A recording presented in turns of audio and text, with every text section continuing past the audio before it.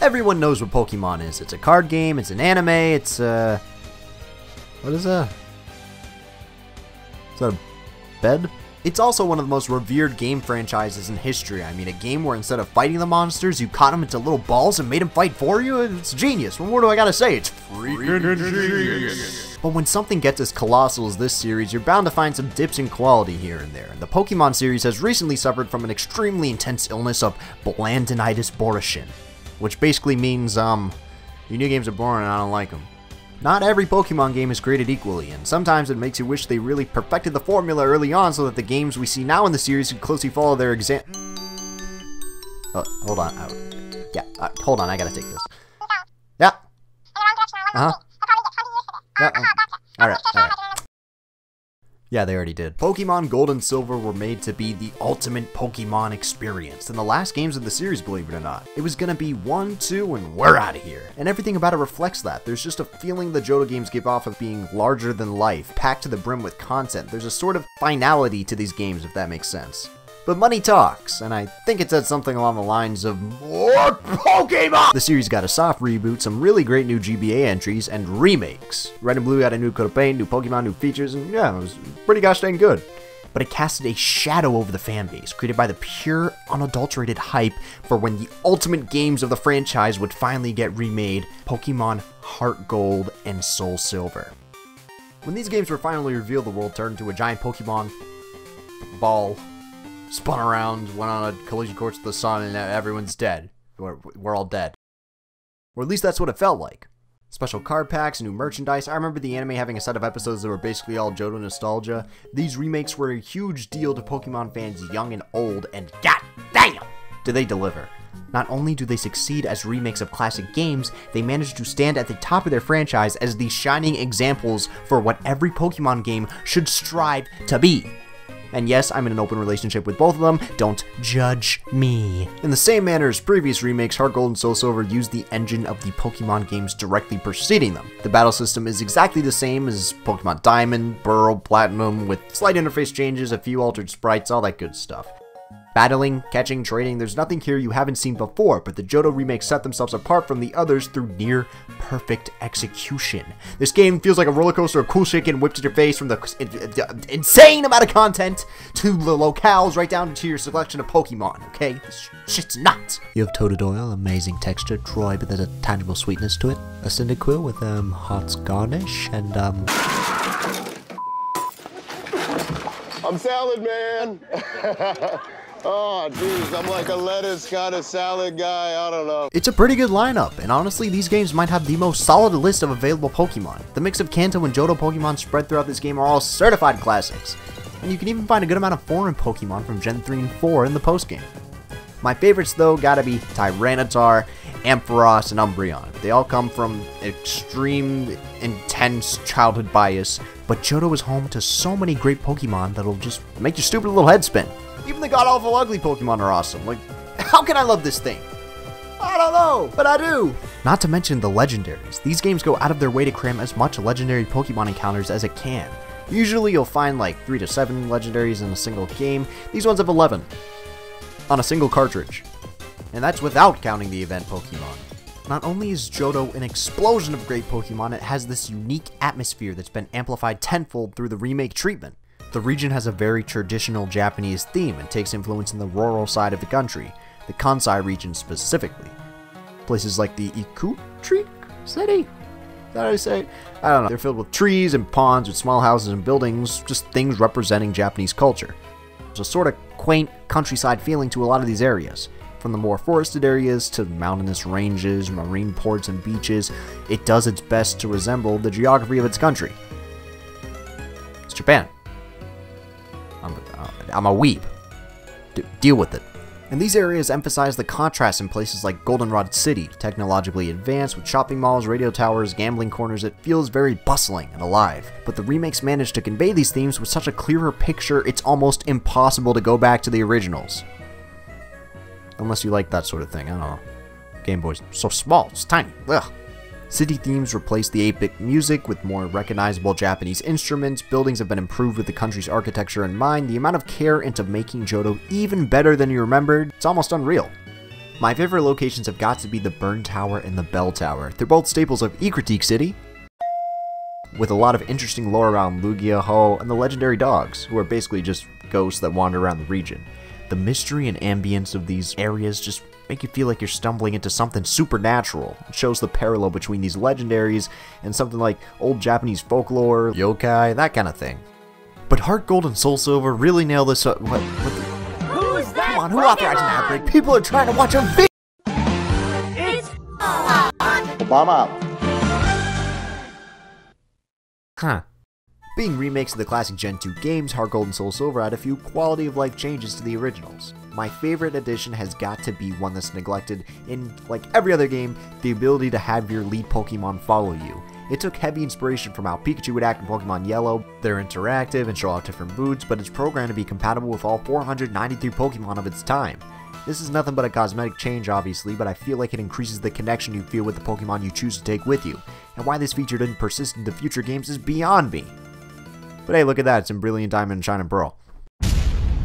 Story elements and progression are altered to make everything a more whole experience. Certain tasks are added to move everything along, like requiring the radio card to challenge Whitney and her and the legendary events have been altered so that they're mandatory to the games. In Gold and Silver, you could complete the entire game without even once encountering Ho-Oh or Lugia, but the remakes make it so these encounters are necessary to challenge the Elite Four. Online functionality was added, similarly the Diamond, Pearl, and Platinum, and things like the GTS and Plaza brought another modern touch to these games. Until, you know, they were re- reduced to atoms by the Nintendo overlords. Anything else like minigames, new items, little bonuses don't bring major shifts to the gameplay or structure, but the amount of fun and replay value they add to these games is really welcome. But as fun and expertly crafted as these entries are, I have a single pro- I have a single prop. There's one thing I don't like, alright? One thing! the leveling.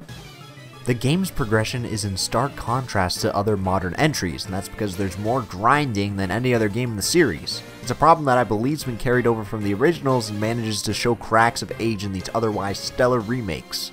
Pokemon has always been about leveling up your Pokemon and making them stronger, but the Johto games have very noticeable level gaps, so big that I feel like I was slowing the pace of the game by trying to match my team to these standards. When you reach this crawl of the game, beating wild Pokemon is not going to help you.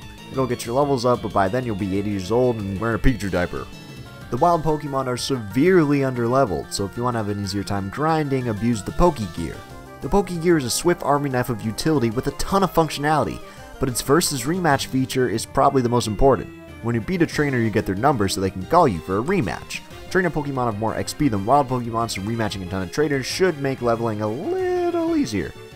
But, and that's a big but, these actions shouldn't be required in the first place. When creating a remake, you're given the unique opportunity to fix the problems of the original, and I'd say leveling was a pretty detrimental problem in Gold, Silver, and Crystal, especially when it could be solved by just raising the levels of wild Pokemon across the game to give more experience. It's just very weird. It's, it's odd.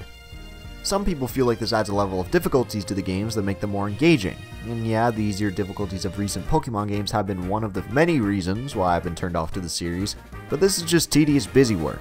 It artificially creates the feeling that something is really challenging when it's not. The game just intentionally doesn't provide you with the tools you need to win. Huh, would you look at that? I complained about Pokemon without getting flamed.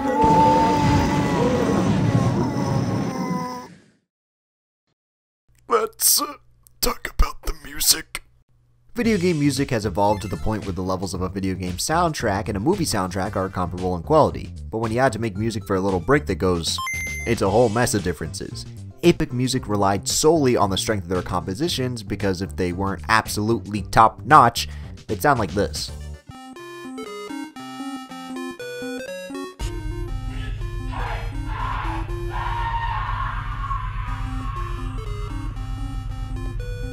Gold and Silver have incredible pieces of music, but hearing them revitalized on the DS is some Alakazam voodoo shit. Right now you're listening to the cave theme from the originals. It's a well-made track, a little rough around the edges, but it works. Then you hear something like this.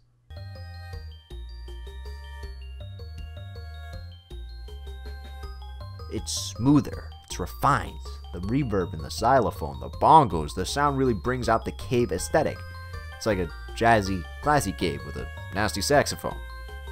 When I hear these arrangements, I can't help but think about how nostalgic the DS sound font is, and how these sounds are what define Pokemon for me. And yeah, there's personal bias seeping in the review, but you know what? DS was the bomb, and there's nothing you can say to wait. No, no, no.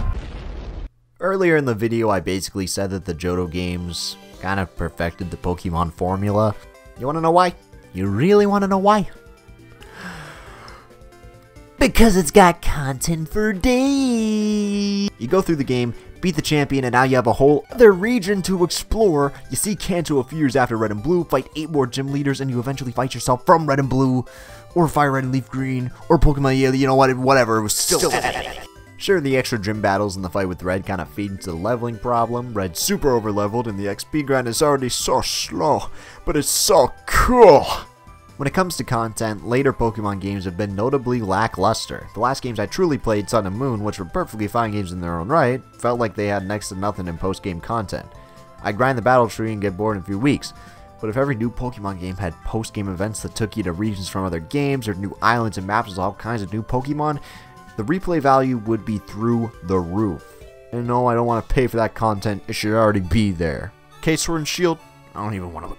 Get it out of my sight! But that's how I see Heart Gold and Soul Silver. They're games that are hard to put down for good, with a ton of fun crap crammed into them. And the fact that the later games don't follow in its footsteps in that way make me want to curl into a nest ball and rot away. But uh, hey, Legend Arceus, right? This looks like a perfectly new and fresh entry in the Pokemon franchise that won't be subject to a barren overworld or generic gameplay. Oh, thank God! Pokemon is one of those series you can't help but love. It's so approachable, immediately fun, and just a freaking blast. The memories I made with my teams through the years are so dear to my little trainer's heart.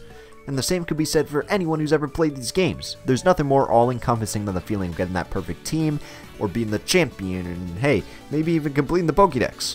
I, for one, have not and it still haunts me in the dead of the night. But the thing about Pokemon is, I don't think the effort's being made to add more than what we already know. Because yeah, the feelings I described are all classic Pokemon, but it just seems like the recent games have been half-assed remixes of what we already know. You could bring Legends Arceus into the conversation, but that's a spin-off to me, like a uh, Pokepark. Remember Pokepark? Just me? To really add something to these games, they should have followed the precedent of these amazing remakes, because I want to travel to other regions, I want to catch a bajillion legendaries, I want to battle more player characters like Red, I want an app that's exactly like the freaking Pokewalk because that thing was cooler than cool. That's what makes Heart Gold and Soul Silver a cut above the rest, because it feels like the effort was made to make it stand out. And that's why I think they deserve the title of the most well-made Pokemon games of all time. If you haven't played these games, what the hell are you doing? Go out there, get some Pokemons, catch a damn hoo hoo for crying out loud. I don't know. And I know what you're thinking. I know what you're thinking.